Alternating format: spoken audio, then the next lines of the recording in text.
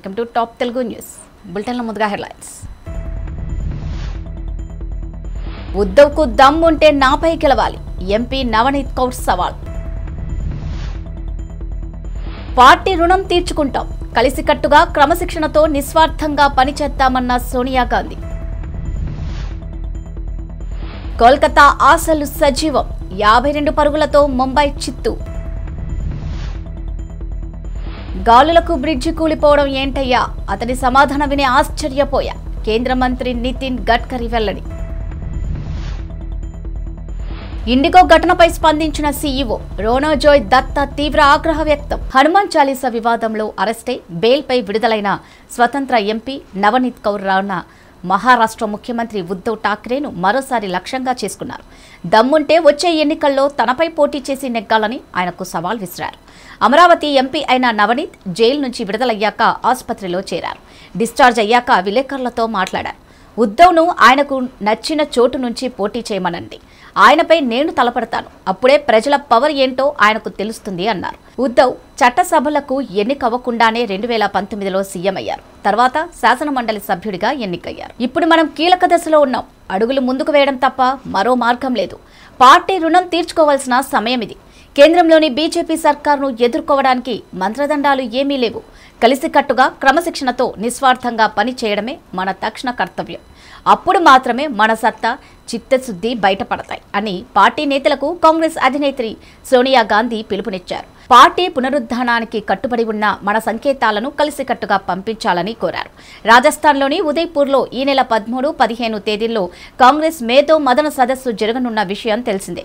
ఇందుకు ఎజెండాను రూపొందించేందుకు సోనియా అధ్యక్షతన సోమవారం పార్టీ వర్కింగ్ కమిటీ సమావేశాన్ని నిర్వహించారు. డిసెంబర్లోని హిమాచల్ ప్రదేశ్ గుజరాత్ ఎన్నికల్లో అనుసరించాల్సిన వ్యూహాన్ని సదస్సులో చర్చించనున్నారు. నాకౌట్ ఆశలు సజీవంగా నిలవాలంటే తప్పనిసరిగా నెగ్గాల్సిందే మ్యాచ్లో. బౌలర్లు విజృంభించడంతో ఓ మాదిరి లక్ష్యాన్ని కోల్కతా నైట్ రైడర్స్ అద్భుతంగా కాపాడుకుంది. సోమవారం జరిగిన మ్యాచ్లో కోల్కతా యాభై రెండు పరుగుల తేడాతో ముంబై ఇండియన్స్ను ఓడించింది. బుమ్రా తన ఐపీఎల్ కెరీర్లో తొలిసారి ఐదు వికెట్లతో విజృంభించడంతో తొలుత కోల్కతా నిర్ణీత ఇరవై ఓవర్లలో నూట అరవై ఐదు తొమ్మిది స్కోర్లకే పరిమితమైంది. ఓపెనర్ వెంకటేష్ అయ్యర్ నితీష్ రాణా రాణించారు. ఛేదనలో ముంబై పదిహేడు పాయింట్ మూడు ఓవర్లలో నూట పదమూడు పరుగులకు ఆలౌట్ అయింది. కిషన్ అర్ధశతకం వృధా అయింది. కమిన్స్ మూడు రెజెల్ రెండు వికెట్లు పడగొట్టారు. ఈ మ్యాచ్లో ఐదు మార్పులు చేసిన Knight Riders Rahane Venkatesh Cummins Chakravarthy Sheldon జాక్సన్కు తుది జట్టులో చోటు కల్పించింది. మ్యాన్ ఆఫ్ ది మ్యాచ్గా బుమ్రా నిలిచాడు. మీడియాకు ఆసక్తికరమైన అనుభూతుల్ని పంచుకోవడంలో ముందుంటారు కేంద్ర మంత్రి నితిన్ గడ్కరీ. వంతెనల నిర్మాణం విషయంలో ఆసక్తికర వ్యాఖ్యలు చేసిన గడ్కరీ ఈ సందర్భంగా ఆయనకు ఎదురైన ఓ అనుభవం గురించి తెలిపారు. బీహార్ సుల్తాన్ గంజ్ వద్ద నిర్మాణంలో ఉన్న ఓ బ్రిడ్జిలో కొంత భాగం ఈ మధ్య కూలిపోయింది. ఏప్రిల్ ఇరవై తొమ్మిదిన ఈ ఘటన జరిగింది. కారణం ఏమిటని నా సెక్రటరీని అడిగా. అతను బలమైన గాలులు వీయడం వల్లే కూలింది సార్ అన్నాడు. ఐఏఎస్ అధికారి స్థాయిలో ఉండి ఆయన అలాంటి వివరణ ఇచ్చేసరికి నాకు ఆశ్చర్యం వేసింది. వెంటనే నేను గాలులకు బ్రిడ్జి కూలిపోవడం ఏంటయ్యా? మరేదైనా కారణమై ఉండొచ్చేమో అంటూ కుల్లాగా నా అభిప్రాయం చెప్పేశా. దేశంలో వంతెనల నిర్మాణంలో ఖర్చు తగ్గించాల్సిన అవసరం ఉందని అదే సమయంలో ఇలాంటి ఘటనలను పరిగణలోకి తీసుకుని నాణ్యత విషయంలో కాంప్రమైజ్ కాకూడదంటూ ఢిల్లీలో ఓ ఈవెంట్కు హాజరైన గడ్కరీ వ్యాఖ్యలు చేశారు. దివ్యాంగ చిన్నారి విమానం ఎక్కేందుకు ఇండిగో ఎయిర్లైన్స్ సిబ్బంది నిరాకరించడంతో ఆ సంస్థ సీఈఓ రోనోజయ్ దత్తా తీవ్ర ఆగ్రహం వ్యక్తం చేశారు. ఆ ఘటనపై విచారణ వ్యక్తం చేయడమే కాకుండా ఆ చిన్నారి కోసం ఎలక్ట్రిక్ వీల్ చైర్ని కొనుగోలు చేయాలనుకున్నట్లు తెలిపారు. శారీరక వికలాంగుల సంరక్షణ కోసం తమ జీవితాలను అంకితం చేసే తల్లిదండ్రులే మన సమాజానికి నిజమైన హీరోలు అని అన్నారు. ఆయన బాధిత కుటుంబానికి తన సానుభూతిని తెలియజేశారు. ఆ ఘటన గురించి దత్తా మాట్లాడుతూ మా కస్టమర్లకు మర్యాదపూర్వకంగా దయతో కూడిన సేవను అందించడమే మాకు ముఖ్యం. అయితే భద్రతా మార్గదర్శకాలకు అనుగుణంగా విమానాశ్రయ సిబ్బంది విమానం ముందుకు సాగుతుందా లేదా అనే దానిపై క్లిష్టమైన పరిస్థితుల్లో కఠినమైన నిర్ణయం తీసుకోవాల్సి వచ్చింది. ఈ సంఘటనకు సంబంధించిన అన్ని అంశాలను పరిశీలించిన తర్వాత ఇలాంటి క్లిష్ట పరిస్థితుల్లో ఒక సంస్థగా సాధ్యమైనంత వరకు సరైన నిర్ణయం తీసుకునేదని నేను భావిస్తున్నాను అని అన్నారు. అంతేకాదు ఈ ఘటనపై పౌర విమానయాన శాఖ మంత్రి జ్యోతిరాదిత్య సింధియా ఆగ్రహం వ్యక్తం చేసిన సంగతి తెలిసిందే. పైగా ఆయన తానే స్వయంగా దర్యాప్తు చేపడతానని చెప్పడం గమనార్హం. విజయనగరం జిల్లా గరివిడిపట్నంలో వెలిసిన బంగారమ్మ తల్లి అమ్మవారి ఈ వారాల పండుగ ఘనంగా నిర్వహించారు. అమ్మవారికి పెద్ద ఎత్తున ప్రజలు పసుపు కుంకుమలు ఇచ్చి మొక్కుబడులు తీర్చుకున్నారు. ఈ అమ్మవారి వారాల పండుగకు గ్రామ పెద్దలు ప్రజాప్రతినిధులు ఏకమై నిర్వహించారు. ఈ సందర్భంగా వైఎస్ఆర్ పార్టీ నాయకులు గరివిడి ఎంపీటీసీ వలిరెడ్డి లక్ష్మణరావు మాట్లాడుతూ బంగారమ్మ తల్లి ఆశీస్సులు తొగరివిడి ప్రజలందరూ ఆనందంగా ఉండాలని అందరినీ తల్లి చల్లగా చూడాలని అన్నారు. అలాగే దాస్ మెమోరియల్ చారిటబుల్ ట్రస్ట్ గౌరవ అధ్యక్షులు పట్నాయక్ శంకర్రావు మాట్లాడుతూ గరివిడి గ్రామ ఇలవేల్పు బంగారమ్మ తల్లి ఆశీస్సులతో అందరూ బాగుండాలని అన్నారు. ఈ కార్యక్రమం కార్యక్రమంలో ప్రజలకు ఎటువంటి ఇబ్బందులు లేకుండా Garividi sarpanch P. Pramila Kumar ZPTC Vakada Srinivasarao YSR party నాయకులు పి. కుమార్ వాకాడ గోపి ఎడ్ల సూర్యారావు రేగుల సూరిబాబు తదితరులు చూసుకున్నారు.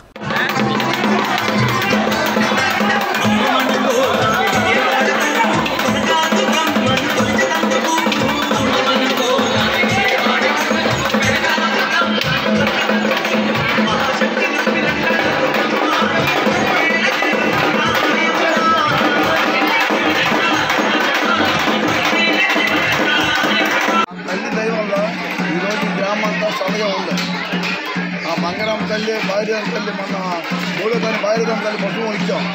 ఇవాళ ఆదివారం తల్లి పశువు ఇస్తాం. ఈ గరీలో ఉన్న గ్రామం అందరూ ప్రజలందరూ సుఖ సంపత్తులతో ఉండాలి. సంపత్తులతో చల్లగా చాలా ఇబ్బంది పడినా భగవంతుడు చాలా చూసి తల్లి ఇబ్బందులు లేకుండా. ఆ తల్లి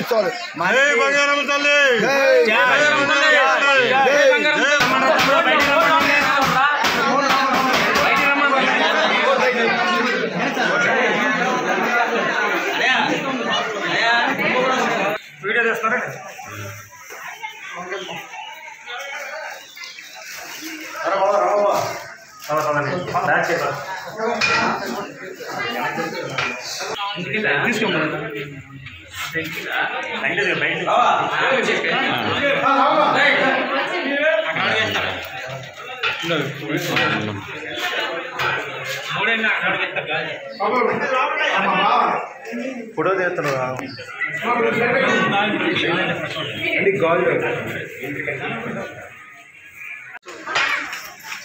జై శ్రీరామ్. ఈరోజు రెండు గ్రామ దేవత అయినటువంటి బంగారమ్మ పండుగ సందర్భంగా ఇక్కడ చేస్తున్నటువంటి విశేష భక్తులందరికీ ఆ బంగారమ్మ తల్లి దివ్య ఆశీస్సులు అందించి మా గర్విడిని ప్రశాంత జీవనానికి ప్రశాంత జీవనానికి ముందుగా ఈ ఊరు గ్రామానికి మారుమూల విధంగా ఆ తల్లి ఆశించిన ఆశీస్సులు ఇవ్వాలని మనస్ఫూర్తిగా కోరుకుంటూ ఈ బంగారం పండుగ ఇచ్చేసినట్టు భక్తులందరికీ హృదయపూర్వక ధన్యవాదాలు తెలియజేసుకుంటూ చక్కని ఈ కార్యక్రమాన్ని ఏర్పాటు చేసినటువంటి కార్యకర్తలకి స్థానిక ప్రజాప్రతినిధులకి అలాగే మీడియా మిత్రులకి పోలీస్ శాఖ వారికి అందరికీ మా హృదయపూర్వక నమస్కారాలు అర్పించుకుంటూ జై బంగారమ్మ తల్లి!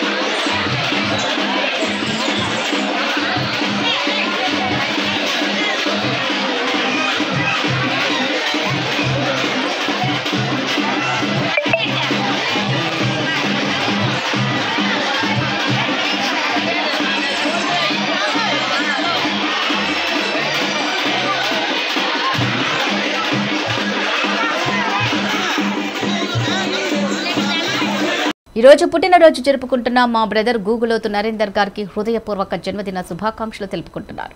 మరియు బంధుమిత్రుల అభినందనలతో అమ్మ నాన్న కీర్తిశేషులు గుగులోతు కిషన్ బుజ్జి ఎర్రకుంట తండా టీఆర్ఎస్ పార్టీ యువ నాయకుడు రమేష్ జాదవ్.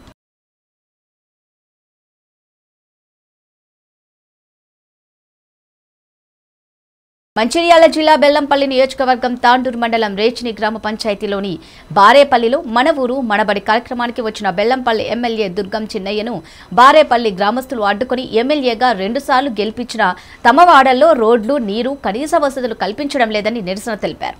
ఎమ్మెల్యే అనుచరులు గ్రామ యువకులు సెల్ ఫోన్తో వీడియో తీస్తుండగా సెల్ ఫోన్లు బలవంతంగా లాక్కున్నారు. Govind Govind Govind Govind Govind Dattamurthy down down Dattamurthy Dattamurthy down down Dattamurthy MLA Govind MLA Govind Dattamurthy down down Dattamurthy Dattamurthy down down Dattamurthy down down Dattamurthy MLA Govind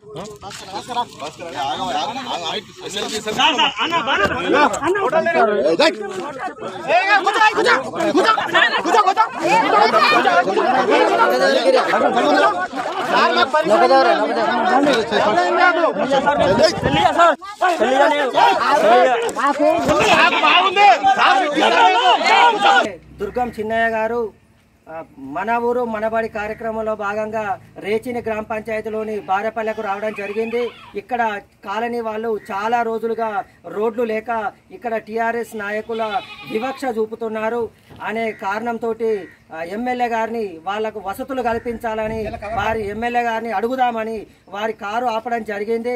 car ఆపి కొంతమంది video మన ఇక్కడ స్థానికులు కొంతమంది video తీస్తుండగా బలవంతంగా TRS నాయకులు వాళ్ళపైన దాడి చేసి ఆడవాళ్ళని కూడా చూడకుండా తోసివేస్తూ మా ఎమ్మెల్యేని అడ్డుకుంటారనే ఆగ్రహంతో మందు తాగిన వాళ్ళలాగా పిచ్చి లేచిన వాళ్ళలాగా రెచ్చిపోతూ ఈ విధంగా వీరంగం సృష్టించడం జరిగింది. వాళ్ళు ఏదో అడగడానికి చేయలేదు ఎమ్మెల్యే మీద దాడి చేయడానికి ఆపలేదు. కేవలం వాళ్ళ సమస్యలు చూడాలి. మా దగ్గరికి గెలిచి ఏడు సంవత్సరాలు అవుతుంది. మా వాడకి ఇప్పటి వరకు ఒక్కరోజు కూడా రాలేదు.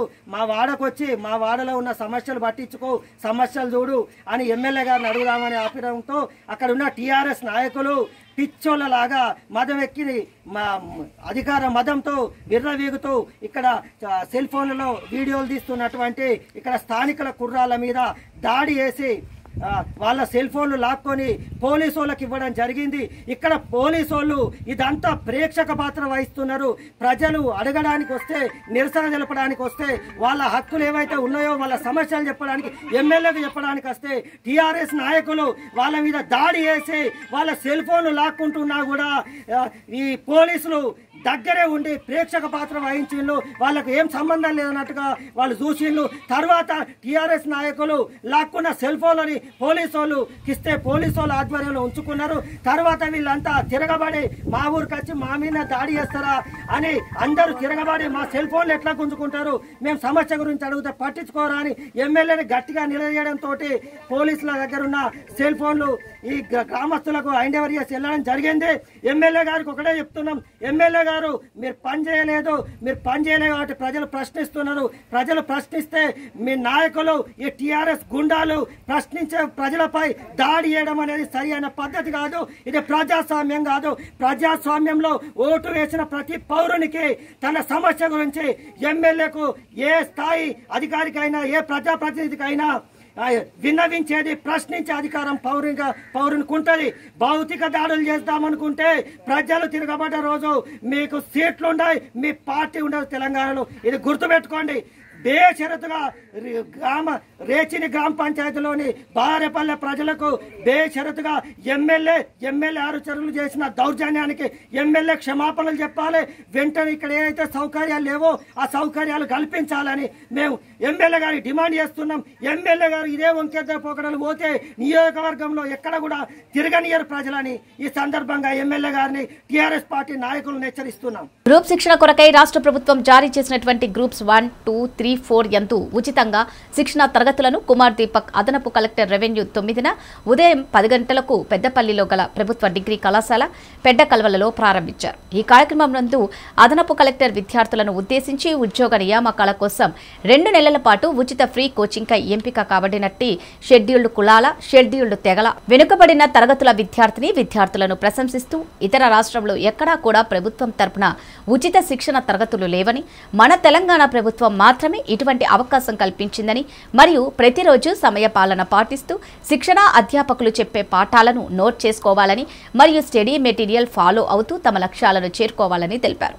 అలాగే ఈ అవకాశమును విద్యార్థిని విద్యార్థులు అందరూ ఉపయోగించుకోవాలని కోరారు. కేంద్ర ప్రభుత్వం ఉన్నాయి. పిఎస్యూలు ఉన్నాయి ఎస్టీఎం పిఎస్సీ అన్ని కొన్ని తెలంగాణ ప్రభుత్వం నుంచి ఇంటర్వ్యూ రిమూవ్ అయింది. కానీ మిగతా కేంద్ర ప్రభుత్వానికి జాబ్లో ఇంటర్వ్యూ ఉన్నాయి. దానికోసం కాన్ఫిడెన్స్కి ఎక్కువ ఇంపార్టెన్స్ ఉంటాయి. సో మీ దగ్గర కాన్ఫిడెన్స్ ఉండాలి. సో అది చాలా సింపుల్ ఉంటాయి. ఏమంటే ఆ డోర్ ఓపెన్ చేస్తే అది మొత్తం ఐసోలేటెడ్ సిస్టమ్లో ఎనర్జీ ఇస్తున్నాము. అంతే కదా? ఎనర్జీ ఇచ్చిన తర్వాత ఖచ్చితంగా టెంపరేచర్ ఇంక్రీజ్ ఉంటుంది ఐస్ వాటర్ ఉంటాయి కొన్ని బయట ఉంటాయి. ఆ దాని తర్వాత ఎక్స్ ప్లస్ వై సెంటీమీటర్స్ ఆ వాటర్ లెవెల్ అవుతుంది. సో జాగ్రత్తగా వినండి. డౌట్ అయితే అడగాలి. సో ముందు ఒక వాటర్ గ్లాస్లో ఎక్స్ సెంటీమీటర్ వాటర్ ఉన్నాయి దాని తర్వాత ఒక ఐస్ క్యూబ్ పెట్టిన తర్వాత ఆ వాటర్ లెవెల్ ఇంక్రీజ్ అయ్యి ఎక్స్ ప్లస్ వై అయింది. కొంచెం టైం తర్వాత ఐస్ మెల్ట్ అవుతుంది. అంతే కదా? ఆ మెల్ట్ అయిన తర్వాత మీరు వాటర్ లెవెల్ చెప్పాలి. ఆ వాటర్ లెవెల్ ఏమవుతుంది? ఎక్స్ ఉంటాయి ఎక్స్ ప్లస్ వై ఉంటాయి greater than X plus Y ఉంటాయి. Less than X plus Y ఉంటాయి ఆ నాలుగు ఆప్షన్ ఇచ్చిన తర్వాత ఎక్స్ ప్లస్ వై చెప్పిన వాళ్ళు ఎంతమంది ఓకే ఎందుకు ఎక్స్ ప్లస్ వై అవుతుంది వెయిట్ కాదు అది ఆన్సర్ సరే కాదు వాల్యూమ్ ఎంత డిస్ప్లేస్ అవుతుంది అంతే ఫ్లోట్ అవుతుంది. అంతే కదా? So level of water will remain X plus Y అది సింపుల్ ఎయిత్ క్లాస్ క్వశ్చన్ ఉన్నాయి. సింపుల్ ఎయిత్ క్లాస్ క్వశ్చన్ ఎవరైనా మంచిగా ఎయిత్ క్లాస్లో చదివిన వాళ్ళకి అసలు డౌట్ రాదు. డౌట్ వచ్చిన నంద్యాల కర్నూలు ఎమ్మెల్యేలు శిల్పారవి ఆఫీస్ కాండ్లపై నంద్యాల జనసేన నాయకుడు సుధాకర్ మండిపడ్డారు. మా నాయకుడిని దత్తపుత్రుడు అంటే ఊరుకోం. రెండు వేల పంతొమ్మిది ఎన్నికల్లో కేవలం వెయ్యి పదిహేను వందల ఓట్లతోనే ఓడిపోయాం. ఆనాడు మా నాయకుడు టీడీపీకి సపోర్ట్ చేసి ఉంటే మేమే గెలిచేవాళ్ళమన్నారు నూట ముప్పై రెండు మంది కౌలు రైతులకు సొంత డబ్బులతో సహాయం చేస్తుంటే ఓర్వలేక మాట్లాడడం తగదని జనసేన పార్టీ నాయకుడు పిడతల సుధాకర్ ఎమ్మెల్యేలను హెచ్చరించారు. నిన్న కర్నూలు జిల్లాకు ఆలగడ్డ నియోజకవర్గానికి సంబంధించిన నూట ముప్పై ఏడు మంది రైతులకు తన సొంత డబ్బులు అంటే ఎక్కడ దోచుకున్న డబ్బులు పంచలేదు ఆయన. ఆయన సొంత డబ్బులతో ఆయన కష్టార్జితంతో పంచిన ఆ డబ్బులతో ఈరోజు పంచినాడు. దానికి కూడా ఇక్కడున్న స్థానిక ఎమ్మెల్యే కావచ్చు కర్నూలు ఎమ్మెల్యే గారు కావచ్చు మా నాయకుని మా నాయకుని గురించి చాలా ఘోరంగా మాట్లాడినారు. అది మీకు తగల మీకు తగదు. మీ నాయకుడు మాదిరి అవినీతి అవినీతి సొమ్ముతో మా నాయకుడు డబ్బులు ఇవ్వలేదు. రైతుల కుటుంబానికి రైతుల బాధ అర్థం చేసుకొని తన సొంత- సొంత డబ్బుతో ఆయన ఇస్తున్నాడు. మీరు ఈరోజు అంటున్నారు మా నాయకుడు దత్తపుత్రుడు దత్తపుత్రుడు అని. దత్తపుత్రుడు అనుకుంటే కన్నా పోయే ఎలక్షన్లో మీరు అధికారానికి వచ్చేటోడు కూడా కాదు. మీకు తెలిసో తెలుదో ఈ స్థానిక ఎమ్మెల్యే రవీణ గారు. అందరూ ఓడిపోయిన అందరూ ఓటు- ఓడిపోయిన ఓట్లు వెయ్యి రెండు వేల మూడు వేల ఓట్లలే. అదే ఆ రోజు మా జనసేన పార్టీని దత్తపుత్రుడు అంటున్న వ్యక్తి ఆ రోజు మద్దతు ఇచ్చింటే మీకు అధికారం అనేది కళ. ఆ విషయం మీరు గుర్తుంచుకొని ఒక్కసారి దత్తపుత్రుడు అనే మాట అనేది మీరు మాట్లాడాలని మేము జనసేన పార్టీ నుంచి మీకు తెలియజేస్తున్నాము. మీ నాయకుడు మాదిరి మీ మాదిరి ప- పది పది పార్టీలు మారలేదు మా నాయకుడు. పార్టీ పెట్టినాడు తన సొంత డబ్బుతో పార్టీ నడిపిస్తున్నాడు తన సొంత డబ్బుతో కష్టపడిన సొమ్ముతో ప్రజలకు సేవ చేసి నిజాయితీగా పోరాడుతున్న ఏ వ్యక్తి ఎవరున్నారంటే రాష్ట్రం అంటే ఒక పవన్ కళ్యాణ్ గారే అది మీరు గుర్తుంచుకోవాలి. మీరు కూడా పోయిన రెండు వేల పద్నాలుగు ఎలక్షన్లో మా మద్దతు కోరి మా పవన్ కళ్యాణ్ పొగిడిన వ్యక్తి మీరు. ఆ విషయం మర్చిపోకుండా మీ నాయకుని నిప్పు కోసము మీకు ఈ సీటు కోసము మా నాయకుడిని విమర్శించే మీకు సీట్ వస్తుంది అనుకుంటే అది మీకు భ్రమ అవుతుంది. ఎమ్మెల్యే గారు మీకు ఒకటే తెలియజేస్తున్నాము. ఈరోజు పవన్ కళ్యాణ్ గారు విమర్శించే స్థాయి మీకు కానీ కర్నూలు ఎమ్మెల్యే హఫీజ్ ఖాన్ గారి కానీ కానీ ఏ క్వశ్చన లేదు. మీ స్థాయి ఎంతవరకు అంత చూసుకొని మాట్లాడాలని చెప్పి మేము నంద్యాల జనసేన పార్టీ తరపు నుంచి మీకు తెలియజేస్తున్నాము. ఒక్కసారి మా పవన్ కళ్యాణ్ దత్తపుత్రుడైన మాట మీ నుంచి రాకూడదని మేము మీకు తెలియజేస్తున్నాము. ఆ విషయం మీరు మైండ్లో పెట్టుకొని మాట్లాడవలసిందిగా కోరుతున్నాము అవినీతిపరుడైన అంటే అవినీతి కేసులలో ఇన్ని కేసులు ఉన్న నాయకుడు మీ నాయకుడు ఎక్కడా? డబ్బు రాజకీయం చేసి మీరెక్కడ? నిజాయితీతో పోరాడే మేమెక్కడ? మా నాయకుడు ఎక్కడ అనేది మీరు ఒక్కసారి మీ మనస్సాక్షితో మీరు మాట్లాడుకొని మీరు రేపొద్దున మాట్లాడవలసిందిగా మేము నంద్యాల జనసేన పాత్ర నుంచి డిమాండ్ చేస్తూ ఒక్కసారి మా నాయకుడి పైన ఇలాంటి వార్తలు చేస్తే తీవ్ర పరిమాణాలు ఎదుర్కొంటారని చెప్పి మేము నంద్యాల జనసేన తరపు నుంచి హెచ్చరిస్తున్నాం. సత్యసాయి జిల్లా గుడిబండ మండలంలోని ఉన్నతాధికారుల ఉత్తర్వుల మేరకు గుడిబండ పోలీస్ స్టేషన్లో ఉన్న రౌడీ షీటర్లను స్టేషన్కు పిలిపించి Gudibanda SI Suresh Madakasira CI Sriram ASI Chandrasekhar మరియు పోలీస్ శాఖ సిబ్బంది కౌన్సిలింగ్ ఇచ్చారు.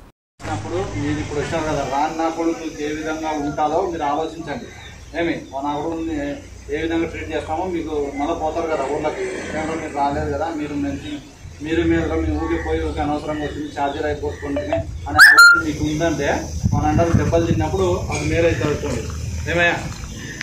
దాన్ని నా కొడుకు ఊరు నా లేదంటే ఇంకా పోరా ఒడిచిట్టు రారా?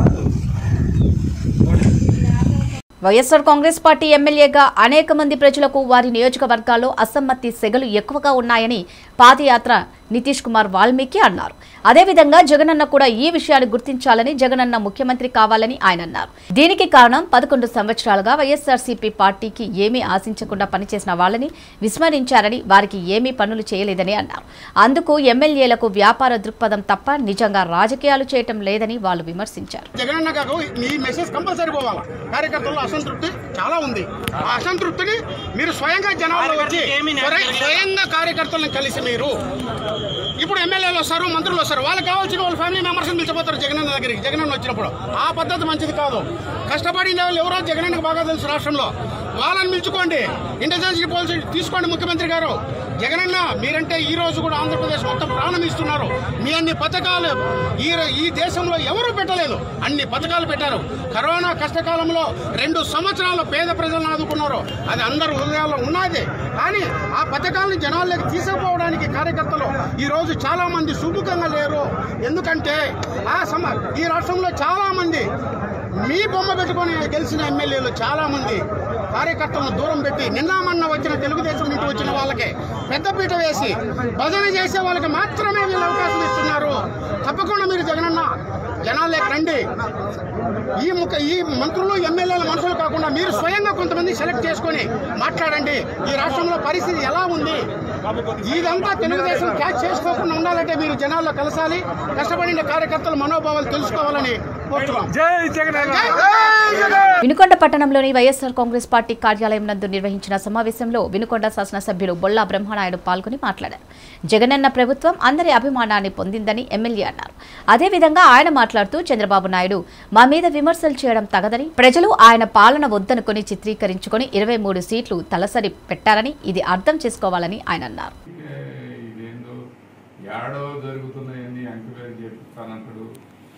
బాధుడే బాధుడు అంట ఏం బాధుడు బాధుడు? మీరు బాగుతున్నారు గోళల్లో జనాన్ని నీవు నీ పాలనలో నువ్వు చేసినటువంటి పాలన నిన్ను చూసినటువంటి ప్రజలు నీ పాలన చూసి ఇసుకిచ్చుకొని నీకు ఎలాంటి తీర్పు ఇచ్చారు? ఇరవై మూడు సీట్లతో సరిపెట్టుకో బాబు గారు అని నీకు చెంపకు పెట్టి చెల్లుని అనిపించారు. అది నీకు ఇంకా గోవ గుయ్యి అంతానే ఉంది. ఇంకా అది ఆ- దాన్ని నువ్వు ఇవాళ నేనేదో బ్రహ్మాండమైన పాలన ఇచ్చిన. ఏం చేసావని అడుగుతున్నా నేను. నీవు చంద్రబాబు నాయుడు గారిని మేము ఒకటి అడుగుతున్నాం. నువ్వు ఇవాళ జగన్మోహన్ రెడ్డి గారు ప్రభుత్వం జగన్మోహన్ రెడ్డి గారు బాధుడే బాధుడు అని చెప్తా ఉన్నావు. నీ ప్రభుత్వంలో నువ్వు చేసినటువంటి ఒక్క మంచి పని చెప్పండి. నువ్వు కానీ ఇక్కడ పనిచేసినటువంటి వాళ్ళు కానీ ఇవాళ ఆ రోజు చంద్రబాబు నాయుడు గారు కనుక అమ్మ ఇస్తే ఎవరన్నా వద్దన్నారా? పదిహేను వేల రూపాయలు. నాడు నేడు కార్యక్రమంలో భాగంగా స్కూల్ బాగు చేస్తే ఎవరన్నా వద్దన్నారా? అదేవిధంగా మరి ఈరోజు ఫీజు రియంబర్స్మెంట్ పీజీ వరకు కూడా హాస్టల్కి కూడా మరి ఫీజు రియంబర్స్మెంట్ వర్తించే విధంగా హాస్టల్ బస్ ఛార్జీలతో సహా మరి ఎక్కడ కూడా ఖర్చు లేకుండా స్టూడెంట్స్కి అన్ని విధాలా సహకరిస్తున్నటువంటి ఈ ప్రభుత్వం. మరి ఆ- ఆ రోజు నువ్వేమన్నా చేయగలిగావా? ఆ రోజు నువ్వేమన్నా ఇరవై ఐదు వందల పెన్షన్ ఇవ్వగలిగావా? ఆ రోజు నువ్వు నలభై రెండు లక్షల మందికి పెన్షన్ ఇచ్చి మరి సరిపెట్టుకున్నావు. ఇవాళ ఈ ప్రభుత్వం అరవై మూడు లక్షలకు పెన్షన్ ఇరవై ఐదు వందల రూపాయల కాడికి ఇస్తూ ఉంది. దాన్ని పెంచుకుంటూ మూడు వేలకు తీసుకెళ్తా ఉన్నాం. నువ్వు ఆ రోజు చేస్తే ఎవరన్నా వద్దన్నారా? ప్రజల్ని మీరు హింసించారు మీరు ఇబ్బంది పెట్టారు మీరు ప్రజలతో మరి అన్ని విధాల రియల్ ఎస్టేట్ వ్యాపారం చేశారు. మీరు మీ నాయకులందరూ కూడా పత్తిపాటి పుల్లారావు అటువైపు దూలిపాల నరేంద్ర ఇటువైపు చూస్తే మీ క్వార్టరీ మొత్తం ఇక్కడ ఆంజనేయులు అక్కడ శ్రీధరు మీరందరూ కూడా ఆ పొలాల మీద వ్యాపారం చేసి చంద్రబాబు నాయుడు చంద్రబాబు నాయుడు గారి అబ్బాయి లోకేష్ గారు అది వ్యాపారం చేసింది మీరు. అమరావతి రాజధాని పేరుతోటి వ్యాపారం చేసింది మీరు. ఎవరిని ప్రజలు బాధారు ఎవరిని బా- ఈ బాధుడే బాధుడే అని చెప్తా ఉంటావు. ఏం బాతున్నారు ఎవరు బాతున్నారు అనేది మీరు బాధింది చూశారు మీకు బుద్ధి చెప్పారు. ఇక్కడ కరెంటు సమస్య ఆ సమస్యని పరిష్కారం చేసుకునే దానికి ఎలా పరిష్కారం కావాలి ఎలా చేసుకోవాలి అనే ఆలోచనతోటి ముందు చూపుతోటి ఇవాళ జగన్మోహన్ రెడ్డి గారు బ్రహ్మాండంగా ఆ సమస్యను కూడా పరిష్కారం చేస్తున్నటువంటి పరిస్థితి. ఆయిల్ రేట్లు ఈ ఈ ఒక్క రాష్ట్రం ఈ మన మన ఒక్క రాష్ట్రం కాదే. భారతదేశం మొత్తం జరుగుతున్నటువంటి ప్రాబ్లం అది. అది అది చెప్పుకున్న ఆ యుద్ధం జరుగుతూ ఉంది. దాంట్లో క్రూడ్ ఆయిల్ రేట్లు పెరుగుతూ ఉన్నాయి. వాటి వల్ల సమస్య పెరుగుతూ ఉంది. ఆ సమస్యని రె- రెక్టిఫై చేసుకునే దానికి ప్రభుత్వం అన్ని విధాల చర్యలు తీసుకుంటా ఉన్నారు. కేంద్ర ప్రభుత్వం ఈ చెత్త పన్ను అంటే ఇవన్నీ కూడా ఒక విధానాన్ని చేసి అది కేంద్ర ప్రభుత్వం చేసినటువంటి పన్ను అది. ఆ పన్నుని కేంద్ర ప్రభుత్వాన్ని వదిలేసి బాధుడే బాధుడు జగన్మోహన్ రెడ్డి అంటారు. ఏమయ్యా? నోటికి ఏదొస్తే అది అడ్డు అదుపు లేకుండా మాట్లాడతారు. లోకేష్ బాబు చంద్రబాబు. ఏమయ్యా బాబు? ఏడ బురుడి బాబు? ఈ ఇవన్నీ కూడా మేము ఎందుకు అడుగుతున్నామంటే ఏందో ఏడేదో మొత్తం ఏడ పూర్తి స్థాయిలో వాళ్ళు ప్రభుత్వం తరపు నుంచి అన్ని పథకాలు కానీ అన్ని సంక్షేమ కార్యక్రమాలు కానీ అన్ని విధాలా బాగా చేస్తున్నారు. ఈ ప్రభుత్వం ప్రజల్లో మంచి అభిప్రాయాన్ని మంచి మా- ప్రజల మనసుల్లో స్థానం సంపాదించుకుంటున్నారు జగన్మోహన్ రెడ్డి ప్రభుత్వం అని మీరు ఇవాళ బాధపడటం తప్పితే మీరు చేసింది ఏమీ లేదని ప్రజలు గుర్తించారు గమనించారు. మీకు అదేవిధంగా మళ్ళా కూడా ఆ రెండు వేల పంతొమ్మిదిలో ఎలాంటి తీర్పు ఇచ్చారో మళ్ళీ రేపు కూడా అదే తీర్పు ఇవ్వబోతున్నారన్న సంగతి మీరు అర్థం చేసుకోవాల్సిన అవసరం ఉంది. చంద్రబాబు నాయుడు గారు మాట్లాడితే అబద్ధం. మాట్లాడితే అది మరీ నీచంగా ఏది నోటికొస్తే అది మాట్లాడతాం. ఆయన ఆయన స్థాయి అలా దిగజార్చుకుంటా ఉన్నాడు. పెద్ద వయసు వచ్చింది నీకు అయినా నీకు నువ్వు మార్పు రాలేదు. మరి మీరు మీ మా విధానాలు మీరు ఏదైనా మార్చుకుంటే మంచిదని ఈ సందర్భంగా తెలియపరుస్తున్నాను. మీరెట్టా మీ కాలం మీద మీరు నిలబడే పరిస్థితి లేదు. ఎవరి కాలంలో తీసుకొచ్చి మీరు వాళ్ళ కాలం మీద మీరు నిలబడాలని ప్రయత్నం చేస్తున్నారు. మీరు మీ పార్టీ పూర్తి స్థాయిలో ఇవాళ జీరో అవుతుందన్న సంగతి ప్రజలందరికీ తెలుసు. ఇవి బులెటిన్ అప్డేట్స్. మరో బులెటిన్లో మళ్ళీ కలుద్దాం. అందరికి సెలవు నమస్కారం.